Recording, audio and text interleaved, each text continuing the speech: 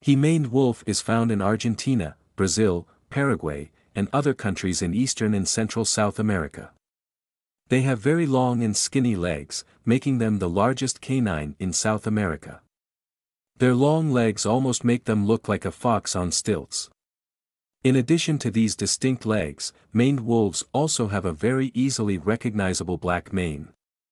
Their fur is reddish-brown or golden-orange in color, despite the name maned wolf is not a wolf.